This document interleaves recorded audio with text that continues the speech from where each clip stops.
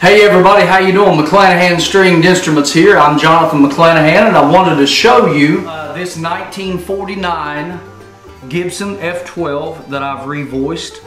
Um, this mandolin here, you've seen it in the pictures and the, throughout the process from the start to finish.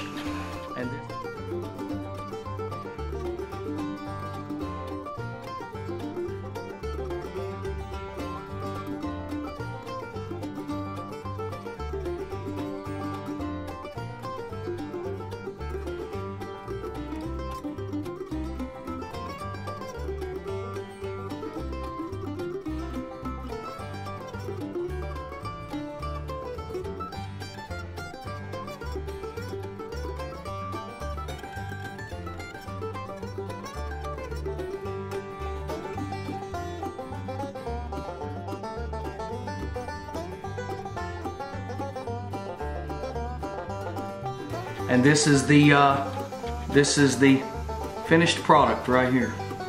I'll take you over the fine points of it but um, just look at how that how that back came out. It, it th this back is just just something else. It's really something else. Very special. What we decided was he wanted to upgrade and wanted to modernize some of it, but yet, um, and I, and but yet he wanted to, you know, maintain the integrity of, of what it is originally, and um, and I definitely agree. I mean, these mandolins are amazing. I love them, and um, I mean, there there's a lot of them that have you know some issues that needs to be worked out. Um, the reason why I revoiced this mandolin, I've revoiced a lot of these, but um, they are just great mandolins. And um, this clamshell tailpiece is just, you can't get no cooler than that right there. That Gibson uh, clamshell is just amazing. I had to put a new bridge on it. I had to rebuild this whole scroll right here, this section right here. If you've noticed, um, a lot of these F12s was, the scrolls was rounded and a lot of them were just flat right here. I actually had to come in here and splice this and as you can see in the pictures from here all the way over to here and build it up, build the crest up and then ascend it and uh, do all that. So it come out really well. I'm very, very pleased with how this top scroll come out. The ears were in really bad shape right here. Um, I had to dress them up and reshape them. Bryan wanted a uh, radiused fingerboard on it. So, uh, and also he wanted, the, the thing he wanted to modernize a little bit on it was, you know, like a pearl um, truss rod cover right there, black pearl. But he also wanted my, um, he wanted a shortened version of my uh, blade extension. And so, you know, I done that and um, it come out nice on the overall look of it. Um, here's the headstock here. This this headstock was was came up and was severely like square right there. I came in and I rounded it and got got a uh, better contour on that and um, it come out really well. Uh, let's see, as far as the top goes, there was just a lot of issues with uh, the graduation and the thickness and everything um, that I had to address. And then the rims were painted completely black.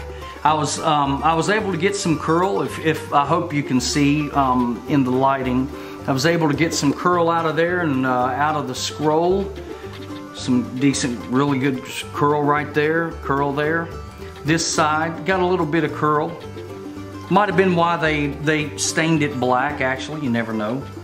But um, Evened up the binding on it. The binding was uh, really wavy as far as that goes. Got it all together. There was thick and, and thinner uh, parts of the binding all the way around that I evened up and got, got it all uniform. This right here was, was really, really big. Um, and this whole neck was just really large and uh, took it down. Love these mahogany necks and these mandolins. Um, I took it down, slimlined it, and um, I mean, you got to be real careful as far as the truss rod in these things. Um, it just takes, you know, it's really nerve wracking. But uh, man, it come out great. and um, so excited, so pleased with it. Redressed the volutes. The volutes were in really needing uh, needing attention, and uh, got those volutes really nice. And um, dressed up the back of the headstock. It had been drilled multiple times and filled all of them and got that done. And uh, so that, that mahogany looks so good though with that with the body. Recrested the scroll and fixed that as well. I fixed this right here, this crest going up here, fixed all of that. That was, that was, you know, it was in bad shape. Um, the recurve in it was in bad shape. The thickness of the back was crazy, crazy thick. And But yet again, I don't like real thin backs neither, real thin tops. Um, you gotta have a, you gotta have a balance.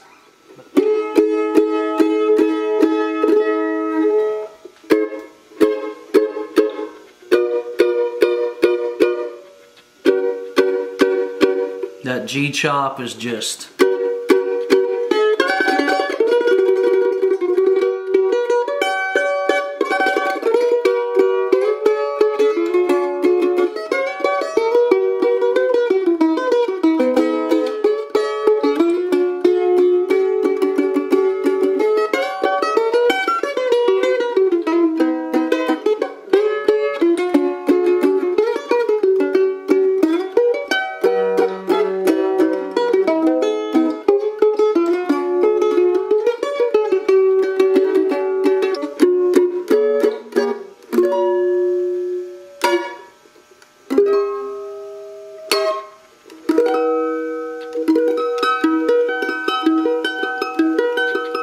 Man,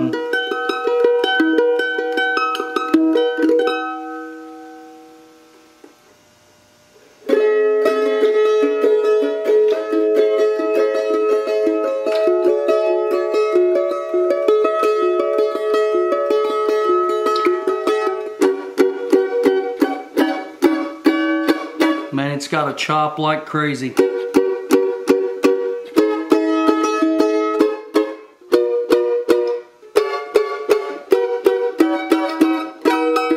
That's the thing about it, just so easy to play, even up here in D.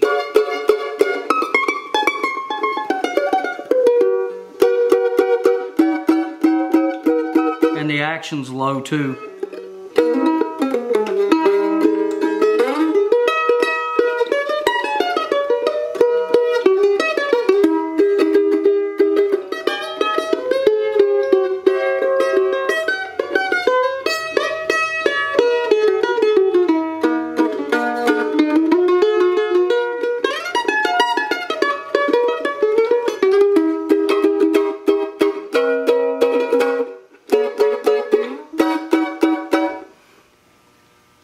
Thank you for tuning in to McClanahan Stringed Instruments in this edition of revoicing this 1949 Gibson F12 mandolin.